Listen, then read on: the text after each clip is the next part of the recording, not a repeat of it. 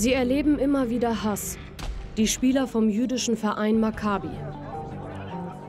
Das beginnt mit Anfeindungen, ihr Scheißjuden, euch hat man vergessen zu vergasen. Mitten in Deutschland hetzen muslimische Demonstranten gegen Juden. Auch im Netz wird gegen Juden gehetzt und der Holocaust geleugnet. Soll das funktionieren? Sechs Millionen, bitte nicht überfragen. Anfeindungen und Angst im Alltag nehmen immer mehr zu. Soziale Medien und das Internet sind ein Gottesgeschenk für Antisemiten. Frontal. Über Judenhass und Hetze. Noam Petri ist 19 Jahre alt, lebt in Frankfurt und ist Jude. Seitdem er sich gegen Antisemitismus einsetzt, erhält er immer wieder Hassnachrichten und wird auf Twitter beschimpft. Die Welt wird von den Zionisten regiert. Der 11. September, das haben auch die Zionisten gemacht. Ekelhafte, dreckige Zionisten, kommt einmal aus euren Löchern raus. Ich fick eure toten, ekelhaften Zionisten Großeltern nicht nur bei Personen, die sich offen als jüdisch identifizieren, sondern auch bei Institutionen oder Diskussionen. Wenn man Hashtag Juden, Israel irgendwas eingibt, dann ist, sind solche Tweets ziemlich häufig. Noam Petri spielte sieben Jahre Fußball beim jüdischen Sportverein Maccabi. Mit zehn erlebte er das erste Mal Judenhass von der gegnerischen Mannschaft. Dann hat der Trainer diesen Spruch eingerufen, also brecht den Juden die Beine. Die Spieler haben das aufgenommen, wurden noch aggressiver, der Schiedsrichter ist nicht eingegriffen und das war im Grunde genommen mein erster antisemitischer Vorfall beim Fußball. Maccabi! Wer für Maccabi antritt, muss mit Übergriffen rechnen. Und die hätten in den vergangenen Jahren deutlich zugenommen, sagt der Maccabi-Präsident. Das beginnt mit Anfeindungen, mit Buhrufen, mit Beleidigungen, ihr Scheißjuden, euch hat man vergessen zu vergasen, bis hin zu Beleidigung des Schiedsrichters, dann aber Handgreiflichkeiten und Attacken mit Messer. Bei einem Spiel im Mai 2019 eskalierte die Situation. Maccabi trat gegen Frankfurt-Griesheim an. Eine Mannschaft mit vielen Muslimen. Gegen Ende des Spiels ist es so aggressiv geworden, dass ich die Polizei um Mithilfe bat, die dann noch mit einem Streifenwagen vorbeikam. Aber als dann nach dem Spiel ein Gerangel bzw. eine Schlägerei im Flur, im Gang der Umkleide passiert ist, hat auch die Polizei noch mal zusätzliche Hilfe angefordert. Und dann waren alle sage und schreibe sieben Streifenwagen mit Polizeihunden da, um die Sicherheit, die Heimfahrt aller Spieler zu gewährleisten. Immer häufiger reisen die Fußballer des jüdischen Vereins mit ihrem eigenen Sicherheitsteam an. Doch nicht nur auf dem Fußballplatz erfährt Noam Petri, dessen Urgroßeltern die Konzentrationslager und den Holocaust überlebt haben, zunehmend massive Anfeindungen.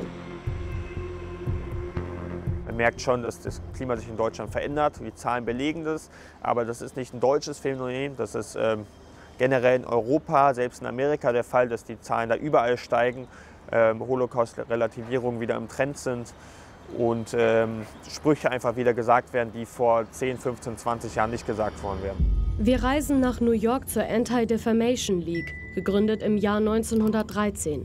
Sie tritt weltweit gegen Diskriminierung von Juden ein. Die Organisation beobachtet einen dramatischen Anstieg an judenfeindlichen Angriffen, auch in den USA.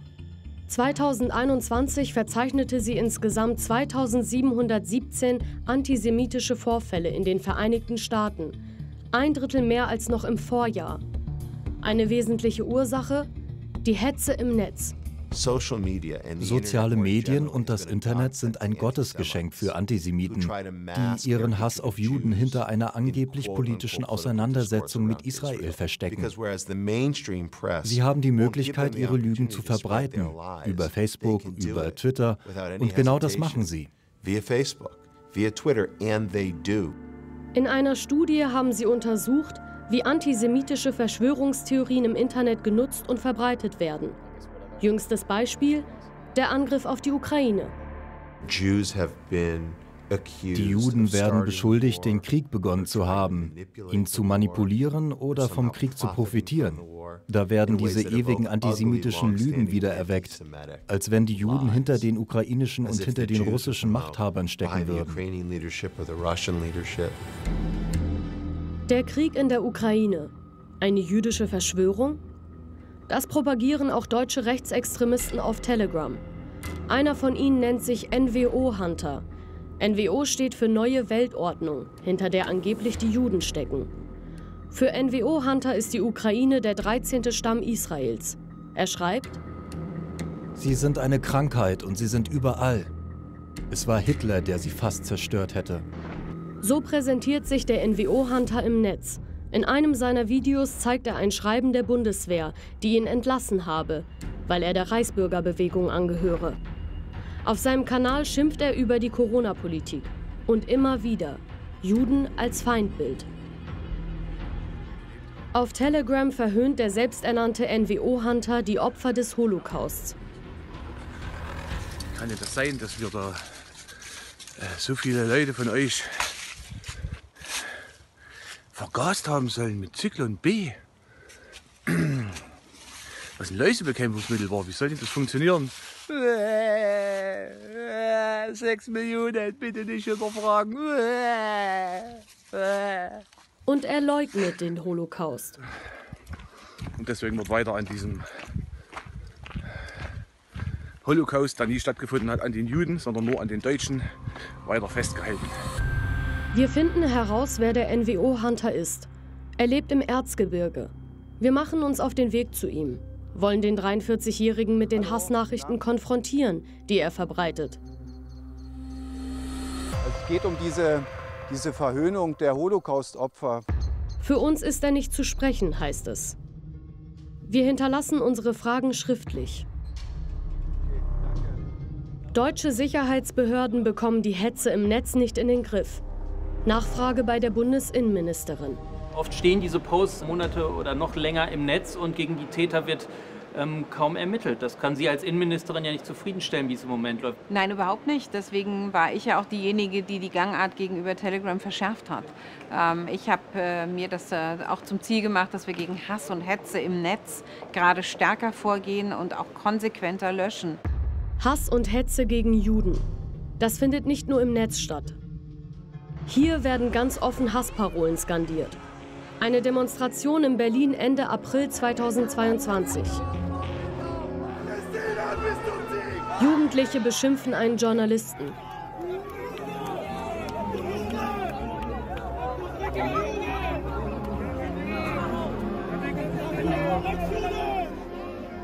Eden Güvercin ist Mitglied der Deutschen Islamkonferenz, ein Forum für den Dialog zwischen Staat und Muslimen.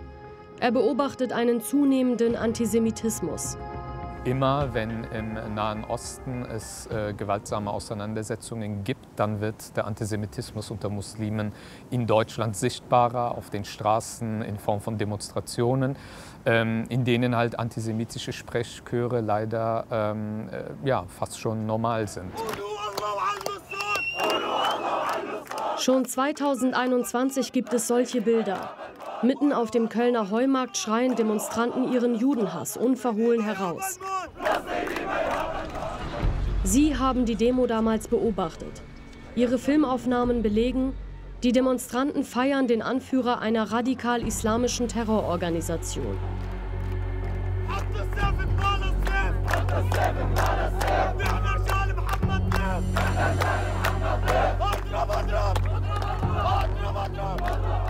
Ich meine, deutlicher kann man es nicht machen, dass das massiv antisemitisch ist. Es soll der jüdische Staat vernichtet werden, es sollen die Juden vertrieben oder getötet werden äh, und Israel soll Geschichte werden in deren Augen. Und das wird in Deutschland, was ja von sich behauptet, dass Solidarität mit Israel Staatsräson sein, äh, sei, wird geduldet. Drumherum steht Polizei und bewacht die Demo und greift bei derartigen Dingen nicht ein. Auslöser für die judenfeindlichen Demonstrationen in Köln und anderen deutschen Städten ist der wieder aufgeflammte Nahostkonflikt im Mai 2021. In Israel wie hier in Haifa kommt es damals zu schweren Zusammenstößen zwischen arabischen und jüdischen Israelis. Hunderte Menschen werden verletzt. Jonathan El-Khoury hat die Ausschreitungen auf dieser Straße damals miterlebt. Das Ausmaß der Gewalt hat den arabischen Israeli schockiert. Diese Stadt steht für das Zusammenleben in Israel. Uh, also Sie zeigt auch, dass es eine sehr dünne Linie ist, die überschritten werden kann, wie die Ereignisse im Mai zeigen. Seine Familie musste aus dem Libanon fliehen. Für ihn ist Israel inzwischen Heimat.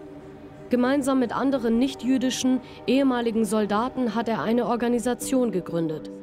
Sie sind in Amerika und Europa unterwegs. Jonathan El-Khoury hat auch in Deutschland mit jungen Muslimen über ihren Hass auf Juden gesprochen. Ich habe diesen riesigen Unterschied festgestellt in Schulen mit vielen arabischstämmigen Jugendlichen. Alles, was die Schüler zu Israel sagten, war negativ. Sie sprachen von Apartheid, Rassismus, sagten, die Juden wollten die ganze Welt regieren. An deutschen Schulen spricht er über Israel. Er will dem Antisemitismus etwas entgegensetzen. Wir wollen schon den jungen Schülern eine Idee von Israel und der Vielfalt dort geben. Ja, manchmal haben wir Kämpfe und Streitpunkte, aber wir versuchen sie innerhalb unserer Gemeinden zu lösen. Zurück in Deutschland. Mittlerweile hat die Generalstaatsanwaltschaft Dresden die Ermittlungen gegen NWO-Hunter aufgenommen. Am 3. August durchsuchen Einsatzkräfte der Soko Rex die Wohnräume des 43-Jährigen. Strafrechtlich reden wir hier von dem Vorwurf der Volksverhetzung. Dies begründet sich daraus, dass dieser sogenannte NWO-Hunter gegen in Deutschland lebende Juden gehetzt hat, zum Hass, zur Diffamierung dieser Gruppe aufgerufen hat. Die Ermittler haben Computer, Festplatten, Handys und Akten sichergestellt, die jetzt ausgewertet werden. Zitat Generalstaatsanwaltschaft die polizeilichen Ermittlungen, insbesondere die Auswertung der im Rahmen der Untersuchung sichergestellten Beweismittel, dauern an. Judenhass und Hetze, noch immer mitten in unserer Gesellschaft. Eine beunruhigende Tendenz. Die Zahl der Angriffe auf jüdische Menschen ist dramatisch gestiegen. 2020 gab es 2351 antisemitisch motivierte Straftaten. 2021 waren es 3027. Eine Steigerung von rund 30 Prozent. Hast du schon Erfahrungen mit Antisemitismus gemacht? Als Betroffener oder Außenstehender? Erzähl uns davon in den Kommentaren. Wie eine Recherche von uns über Neonazis auf Telegram zu einer Razzia in Sachsen führte, siehst du im Beitrag links.